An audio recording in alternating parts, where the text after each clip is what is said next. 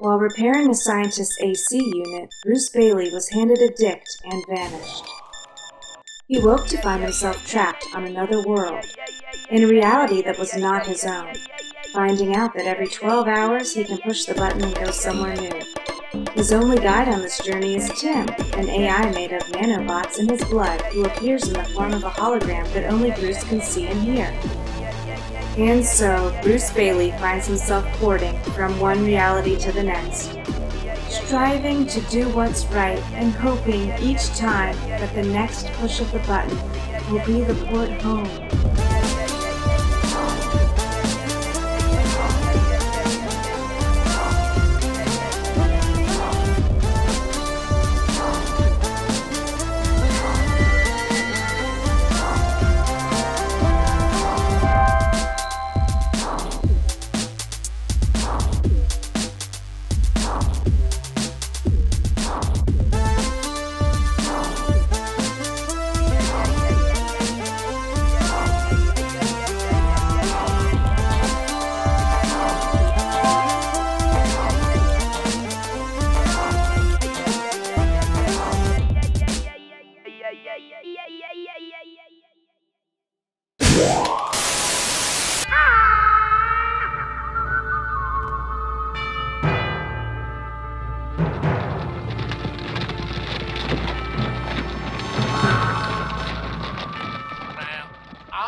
Snake any day of the week. Twice in my pants down. I don't like varmints. They taste like farts if ask me. Well, that's cause you ain't had it prepared right. Like, like, like possum, for example. Well, that's that's just gotta stay out for like a day at least. Now, most folks don't understand that. I got shit. Tell the passengers. That you got a shit. No, you dummy. That we're gonna make a stop.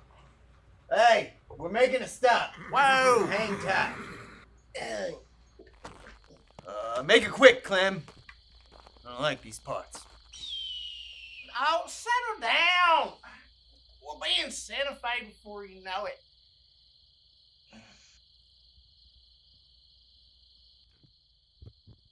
Oh,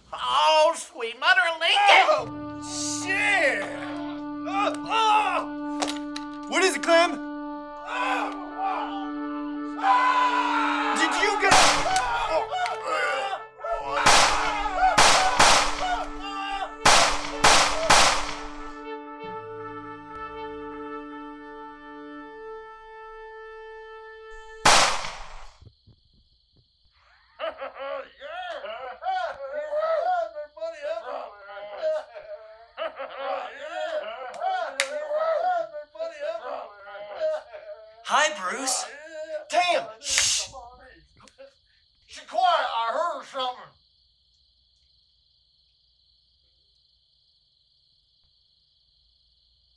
Bruce, they can't hear me.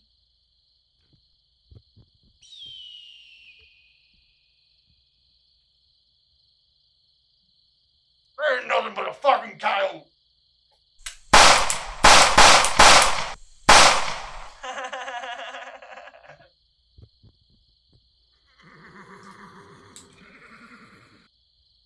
Come on, we gotta go meet Doyle.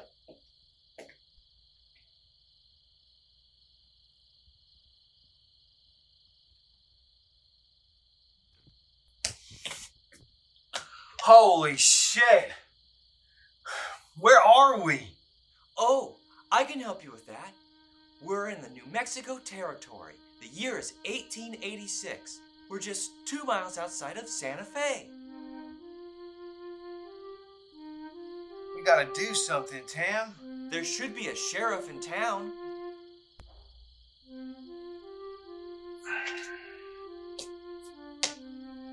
I hope you don't mind me taking your hat. You're probably in a better place now, anyways. And you, I'm sorry I scared you while you was pooping. It's the Wild West, Bruce. Shit happens. Don't worry, me and Tim are gonna head into town, see if we can find that sheriff, tell him what happened here. Let's go, Tim. Other way, Bruce.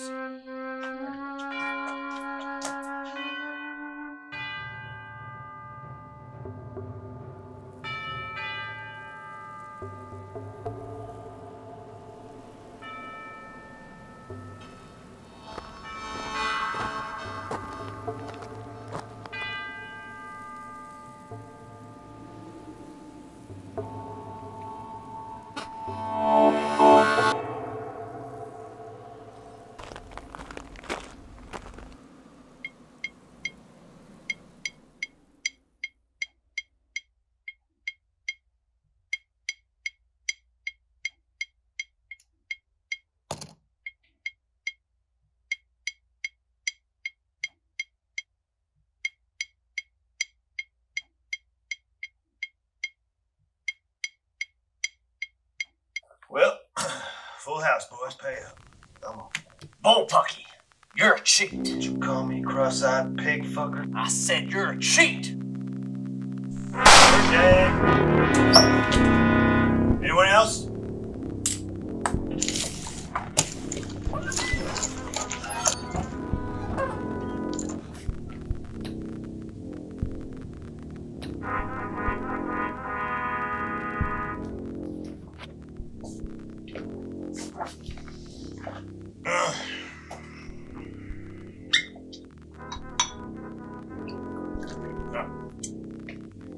Excuse me, good sir. I have a matter that requires the attention of the apropos authorities post haste. Why are you talking like that, Bruce? That's how people talk back then, Tim. What kind of pussy ass way of talking is that? You look like a man. Why don't you try again, cocksucker? a couple of bandits murdered four people in a stagecoach outside of town. How far away? A couple miles? Yeah, on the road. Well, that ain't my jurisdiction. That ain't my problem. Another whiskey. People were murdered! Don't you understand? The first 48 hours of any murder investigation are the most important. I said get.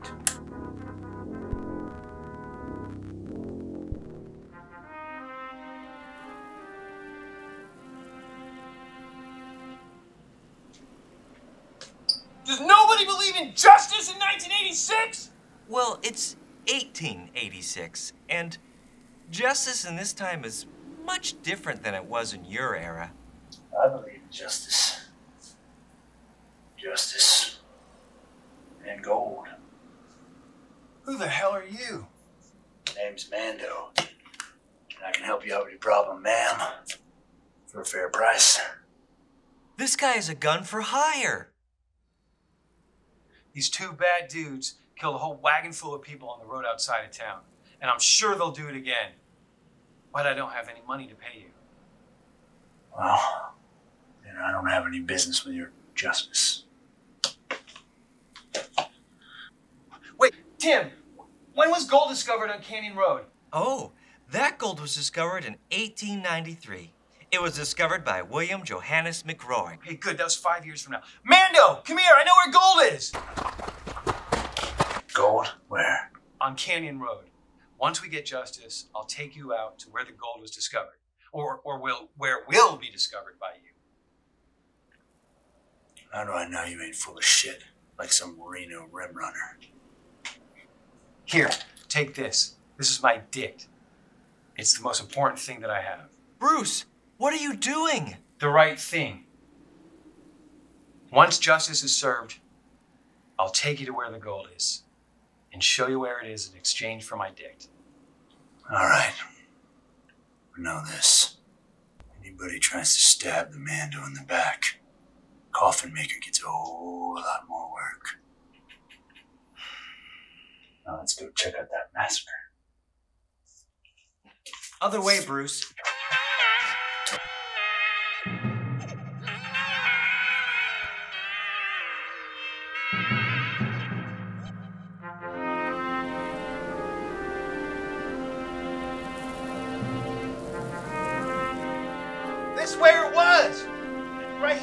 Tracks, you can see them. And the blood. It was the Mendelsohn twins. I know it. They attack at night. Killed the drivers. Killed the riders. Come back in the morning and take the coach. Evil sons of bitches. That's sick. Strange thing is, always know the stagecoach's schedule. Bruce, it's almost time to port. I gotta see this through, Tim. Besides, Mando's got my dick. Hey, Mary Todd Lincoln. Let's go.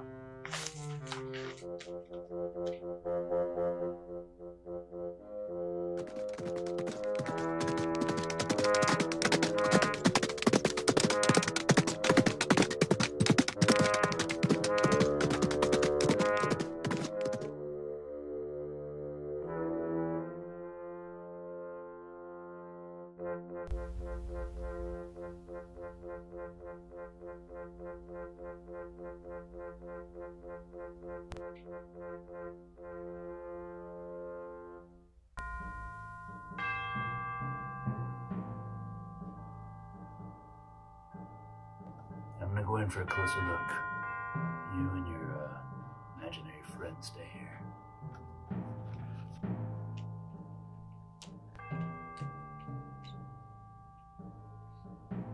I got a bad feeling about this, Bruce. Alright, Sheriff. Oh shit, look! Oh, Who's a witness, you big fuck? I told you I heard something. Never mind that. Your other idiot brother, Pete, he overheard the witness talking about he knows where there's more gold. That's just more gold for us, Sheriff. You mean more gold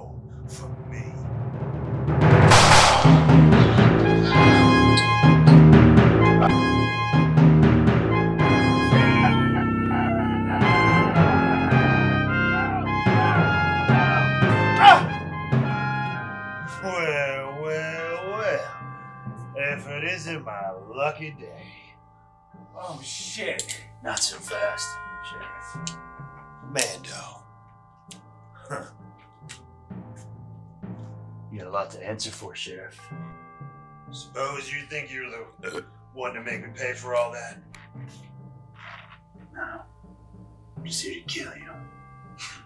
Wait, are we doing what I think we're doing? Think you're fast enough?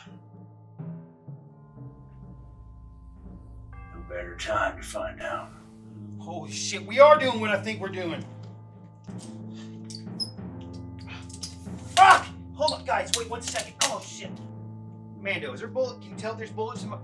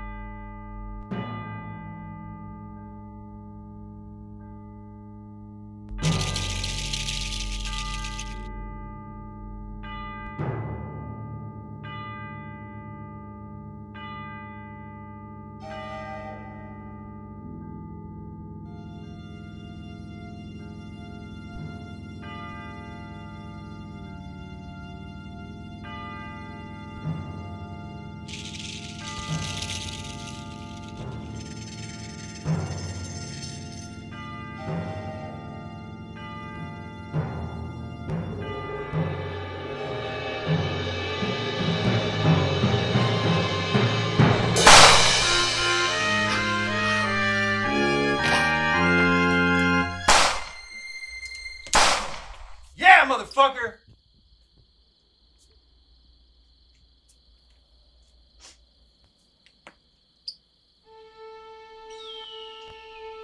Here. Justice has been served. Thanks. You're really fast. Is your name really Mando?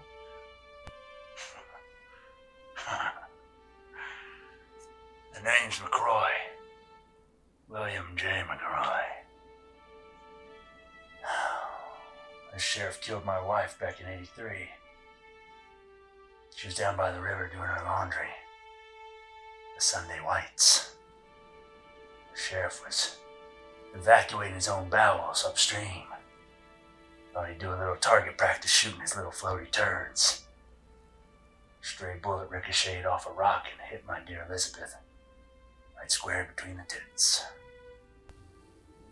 Last words sputtering out of bloody mouths.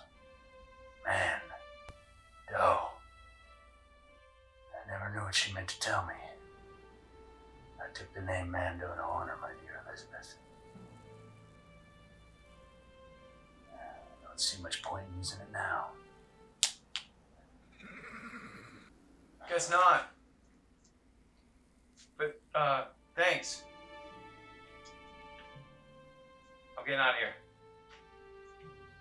Wait! Oh! Mando! The map! For the gold. Thanks. Good luck.